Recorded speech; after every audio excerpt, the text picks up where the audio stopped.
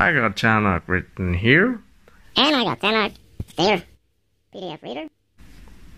In Genesis 3. Now the serpent was more subtle than any beast of the field which the Lord God had made. The Lord God.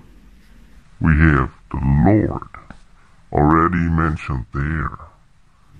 And the woman said unto the serpent, Of the fruit of the trees of the garden we may eat. But of the fruit of the tree which is in the midst of the garden, God has said, Ye shall not eat of it. She doesn't even say the Lord God. Missing respect.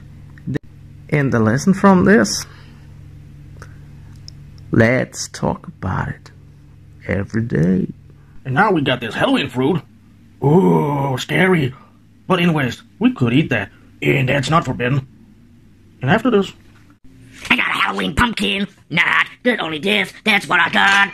But I can chop it with that thing a knife. Woo, I'm king. and boom. Yeah, and I got passion flower stuff. I got St. John's wort. Yeah.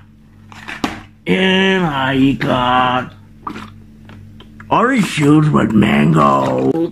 Can make that a tingo. See? that will be better. And he chopped up monkey. Uh, pumpkin.